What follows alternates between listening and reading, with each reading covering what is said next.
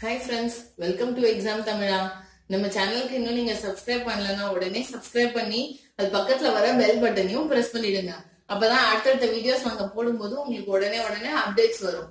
So இந்த வீடியோல நம்ம பார்க்க போற டாபிக் வந்து accounts for non residents so இப்போ இந்த நான் ரெசிடென்ட் இந்தியன்ஸ் இருக்காங்க பாருங்க. இந்தியால இருந்து வெளிநாட்டுக்கு போனவங்க. இந்தியன்ஸ் தான் பேசிக்கா இந்தியால பிறந்து வளர்ந்தவங்க இல்ல அவங்க பூர்வீகம் இந்தியாவா இருக்கும். சோ இந்த நான் ரெசிடென்ட் இந்தியன்ஸ் என்ஆர்ஐஸ் சொல்லுவோம் இல்லையா? இந்த என்ஆர்ஐஸ்க்கான அக்கௌண்ட்ல ஒரு ஃபர்ஸ்ட் அக்கௌண்ட் நம்ம பார்க்க போறது என்ஆர்இ அக்கௌண்ட் சரியா? இப்ப என்ஆர்இனா என்ன அப்படின்னா நான் ரெசிடென்ட் எக்ஸ்டர்னல் அக்கௌண்ட் அதுதான் என்ஆர்இயோட ஃபுல் ஃபார்ம் சரியா? நான் ரெசிடென்ட் எக்ஸ்டர்னல் அக்கவுண்ட் சோ இப்போ இந்த எக்ஸ்டர்னல் அக்கௌண்ட்ல என்னெல்லாம் பணம் போடலாம் அப்படின்னு பாத்தீங்கன்னா இந்த நான் ரெசிடென்ட் வந்து இப்ப ஃபாரின்ல போய் வேலை செய்யறாங்க இல்லையா? சோ இப்போ வந்து நான் ஒரு எக்ஸாம்பிள் சொல்றேன். என்னோட பெரியப்பா வந்து ஃபாரின்ல வேலை செய்யறாரு துபாயில வேலை செய்யறாரு எங்க பெரியப்பா. சோ எங்க பெரியப்பா வந்து ஃபாரின்ல சம்பாதிக்கிறாரு இல்லையா அமௌண்ட் சோ அங்க வேலை செஞ்சு சம்பாதிக்கிற அமௌண்ட் ஃபாரின் கரன்சில சம்பாதிக்கிற அமௌண்ட் சோ அத வந்து இந்த அக்கௌண்ட்ல வந்து போட்டுக்கலாம். Okay so foreign remittances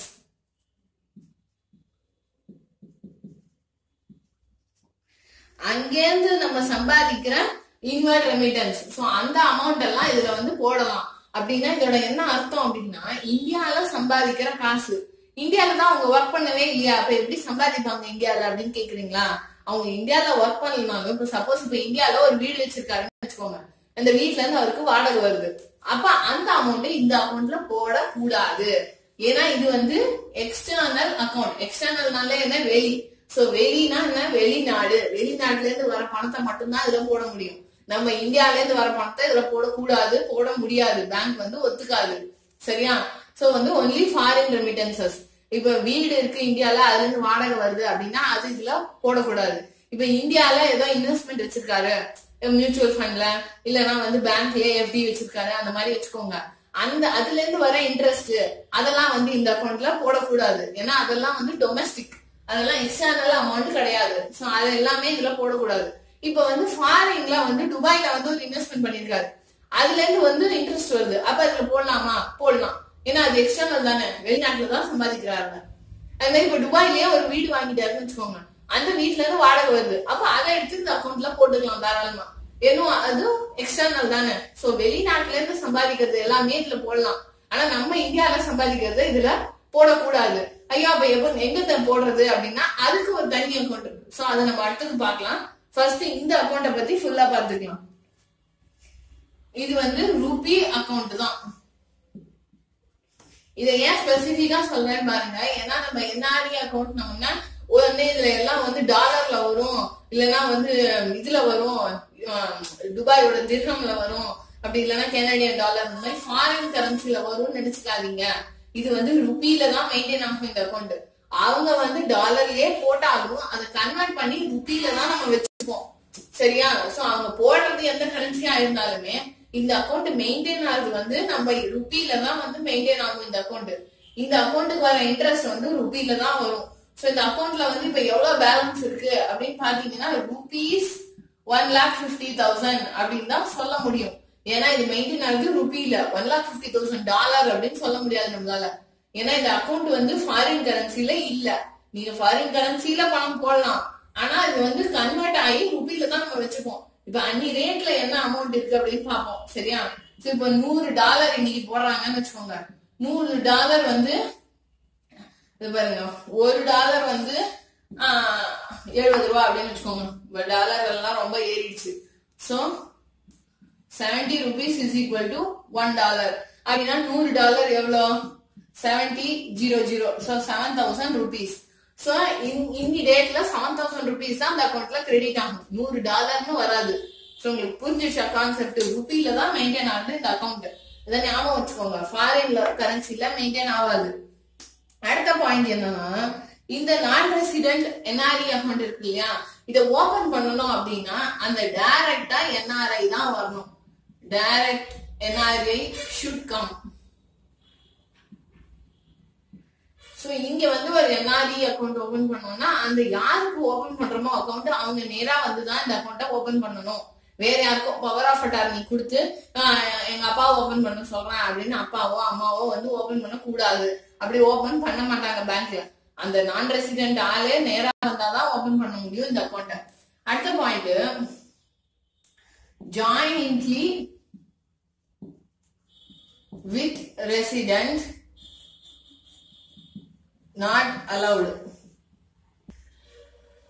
so இப்ப வந்து ஜாயிண்ட் அக்கௌண்டா ஓபன் பண்ணோம்னு வச்சுக்கோங்க என்ஆர்ஐ அக்கௌண்டா ரெண்டு பேர் ஜாயிண்டா இப்ப நம்ம ஓபன் பண்ணிக்கலாம்ல. இப்ப நானும் எங்க வீட்டுக்காரும் ஜாயிண்டா ஒரு அக்கௌண்ட் ஓபன் பண்ணிக்கலாம். அந்த மாதிரி என்ஆர்இ வந்து என்ன பண்ண முடியும்னா ஜாயிண்ட் அக்கௌண்ட் ஓபன் பண்ணலாம்.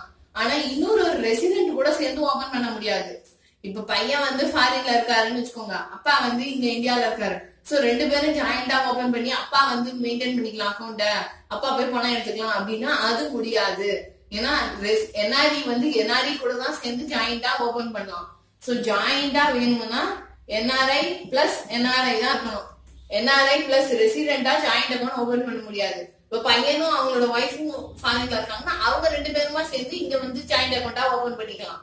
ஆனா பையன் வந்து அப்பா கூட ரெசிடென்ட் கூட ஓபன் பண்ண கூடாது சோ புரியுதா அவங்களுக்கு டிஃபரன்ஸ் ஒரு ரெசிடென்டோட என்ஆர்ஐ வந்து சேர்ந்து joint account NRE account open பண்ண முடியாது.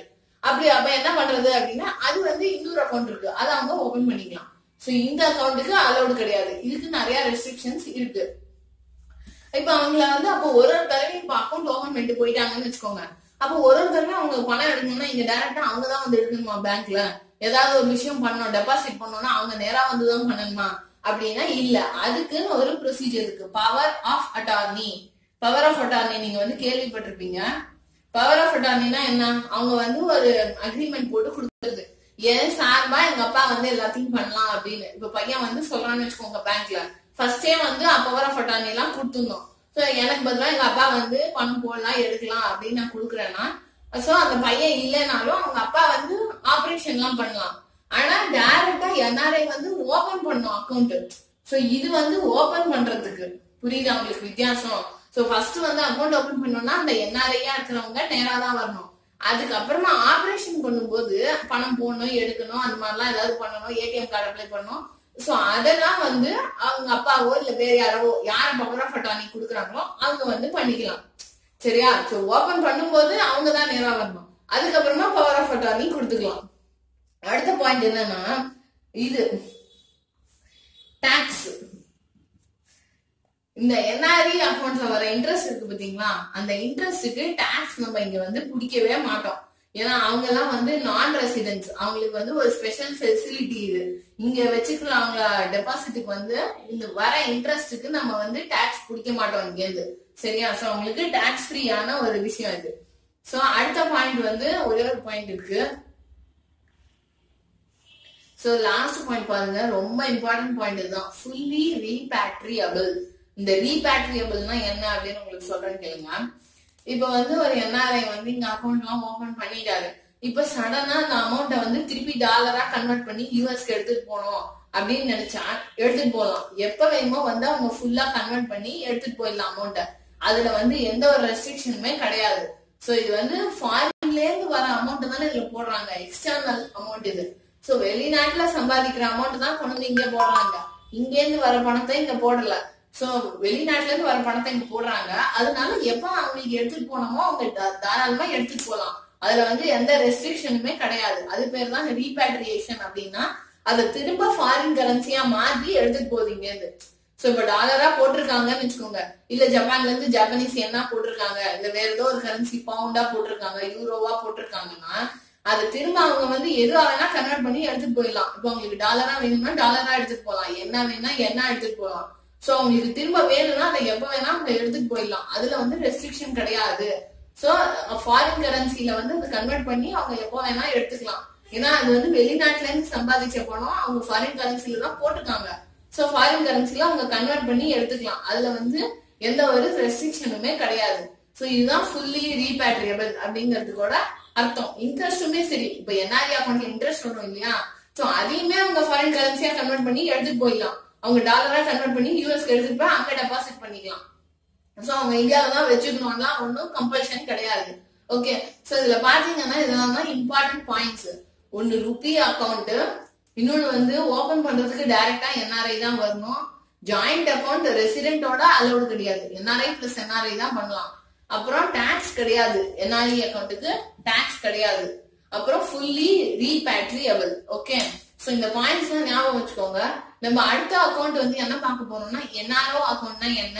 எஃப்சிஎன்ஆர் அக்கௌண்ட்னா என்ன? இது எல்லாத்தையும் நம்ம அடுத்தது பார்ப்போம். இதெல்லாம் டிஃப்ரெண்ட் டைப்ஸ் ஆஃப் அக்கௌண்ட் என்ஆர்ஐக்கு அவைலபிளா இருக்கிற different types of account so அது பார்க்கும்போது உங்களுக்கு புரியும். இதுல என்ன டிஃபரன்ஸ் அதுல என்ன டிஃபரன்ஸ் அப்படிங்கிறது உங்களுக்கு தெளிவாவே புரியும் ஓகே சோ இப்ப இதுல வந்து இந்த மாதிரி தான் உங்களுக்கு கொஸ்டின்ஸ் வரும். இதுல என்ன மாதிரி கொஸ்டின் கேட்பாங்கன்னா இப்ப வந்து um, கேஸ் ஸ்டடியா கேட்கறாங்கன்னு வச்சுக்கோங்க.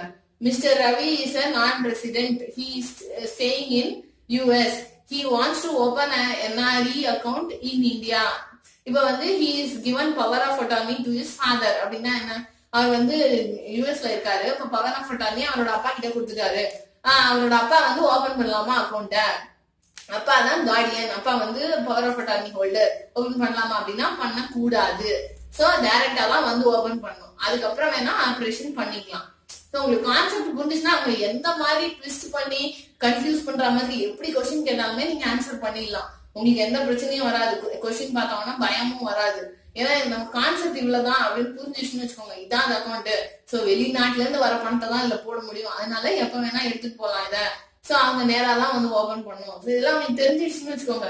கொஸ்டினை எப்படி சுத்தி சுத்தி சுத்தி உங்களுக்கு கேட்டாலும் நீங்க ஆன்சர் பண்ணிடுவீங்க. ஓகேயா ஸோ நம்ம நெக்ஸ்ட் வீடியோல என்ஆர்ஓ அக்கௌண்ட் அண்ட் எஃப்சிஎன்ஆர் அக்கௌண்ட்டை பத்தி டிஸ்கஸ் பண்ணுவோம். தேங்க்யூ ஃப்ரெண்ட்ஸ் வீடியோ பிடிச்சதுன்னா கண்டிப்பா லைக் பண்ணுங்க. உங்க ஃப்ரெண்ட்ஸ் எல்லாரும் கூடயும் ஷேர் பண்ணுங்க.